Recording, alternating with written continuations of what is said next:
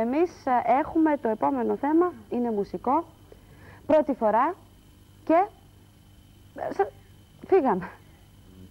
Ακούσαμε λοιπόν από τον Νότι Σφακιανάκη ε, ένα δίσκο που, ε, ένα, τρα- ένα βιντεοκλίπ είδαμε και ακούσαμε το τραγούδι ήταν Πρώτη φορά. Ε, Νότι, να σε ρωτήσω κάποια πράγματα. Το τραγούδι αυτό που ακούσαμε, πού το εντάσσουμε στο λαϊκό, Αυτό είναι το λαϊκό; συγκεκριμένο, Ναι, είναι λαϊκό τραγούδι. Ο δίσκος σου, εσύ τραγουδάς τραγούδια λαϊκά, Ο δίσκος είναι ένα κράμα από τραγούδι. δηλαδή, πες μου, εξήγησε. Ε, είναι και μοντέρνα σε ύφος και λαϊκά τραγούδια, ένα παραδοσιακό νησιώτικο, είναι ένα κράμα.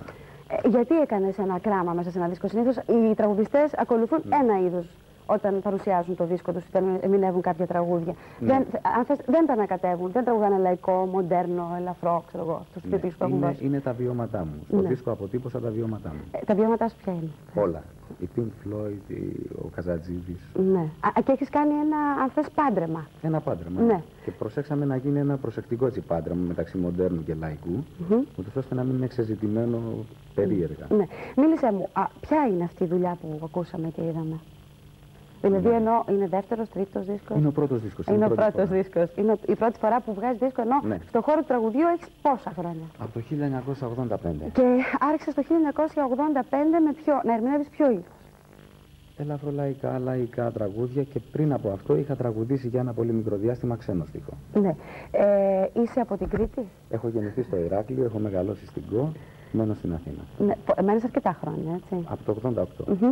Θέλω να μου πεις, γιατί μέσα σε όλα αυτά τα χρόνια δεν έκανες και κάποιο άλλο δίσκο και τον έκανες τώρα. Δεν είναι εύκολο, δεν υπάρχουν Πες μου. δυνατότητες.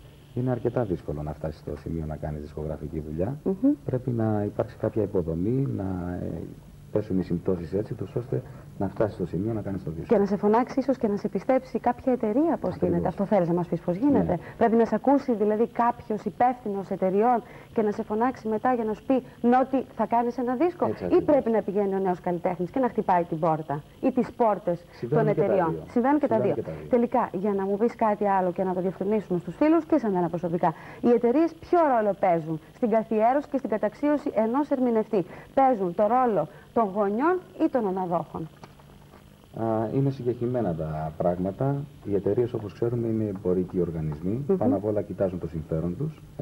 Να λέμε τα πράγματα όπως είναι. Από εκεί και έπειτα, αν δουν ότι εσύ έχεις τις δυνατότητες να τους αποφέρεις έσοδα, θα σε βοηθήσουν. Τότε και μόνο τότε πιστεύουν σε σένα και επενδύουν πάνω σε σένα. Και τότε. Αν κάποια στιγμή δουν ότι δεν πάει καλά η δισκογραφική δουλειά, δεν έχει πωλήσεις, τι συμβαίνει; Δεν σου έχει τύχει Δεν και δεν ξέρω. ξέρεις. Έχω άγνοια. το ρωτάω επειδή είσαι προ- ε, είναι η πρώτη φορά που Ναι. ετοιμάζεις δίσκο και οι εμπειρίες σου βέβαια είναι λίγες, αλλά θα έχεις ακούσει και από άλλους συναδέλφους σου τι τραβάνε. Α, ε, το συμπέρασμα που λοιπόν που θέλω να βγει είναι οι εταιρείες παίζουν καθοριστικό ρόλο στην πορεία και στην καριέρα ενός ερμηνευτή. Σίγουρα ναι. Έτσι. Ναι. Δεν μπορεί δηλαδή ο καλλιτέχνης μόνος του να καθορίσει την πορεία του. Μπορεί, εάν. Αν είναι καταξιωμένος. Αν δεν είναι, υπακούει. Σίγουρα ναι. Μάλιστα. Ε, λοιπόν, ε, να μας παρουσιάσει σήμερα. Καλημέρα, παιδιά. Σας Ναι. έχουμε πίσω. Είναι να κάποιοι- αρχίσουμε. Ναι, Είναι κάποιοι φίλοι που συνάδελφοι. ήρθαν ναι, για να παίξουν εδώ. Είναι ο Χάρης, ο Παντελής, ο Γιάννης, ο Παναγιώτης και ο Νεκτάριος. Ωραία. Θα ακούσουμε εμείς ένα τώρα τραγούδι, πρόβλημα δικό μου, το οποίο δεν είναι λαϊκό. Είναι ερωτικό τραγούδι. Είναι ερωτικό. Και όταν λέμε ερωτικό, εννοούμε ότι είναι μπαλάντα, είναι. ναι. Έτσι; Έτσι, μπαλάντα είναι και κάποια στιγμή ανεβαίνει λίγο ο ρυθμός του γίνεται πιο εύθυμος. Πάμε να φύγουμε να το ακούσουμε. Αν και δεν πρέπει να λέω πάμε. Να το ακούσουμε.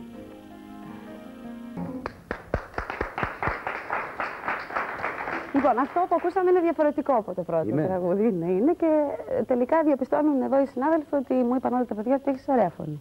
Δεν σε είχαμε Σας ξανακούσει. λοιπόν, τι, τελικά τι ψάχνεις, σαν καλλιτέχνης, τι ψάχνεις να βρεις; Δεν ψάχνω να βρω τίποτα, βγάζω από μέσα μου αυτά που αισθάνομαι, δεν ψάχνω.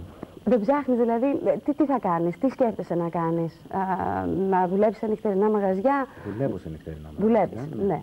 Τώρα θα σε βοηθήσει περισσότερο, ίσως Πιστεύω πως ναι. για καλύτερη θέση σε κάποιο Αυτή η μαγαζί. εκπομπή οδείς. ήδη με βοηθάει. Αυτή τη στιγμή που είμαι στον αέρα με βοηθάει κατά πολύ, πιστεύω. Δηλαδή, πού, μπορείς, ε, πού πιστεύεις ότι μπορεί να σε βοηθήσει αυτή η εκπομπή, η εμφάνισή σου; Στο ότι αυτή τη στιγμή μας βλέπει όλη η Ελλάδα.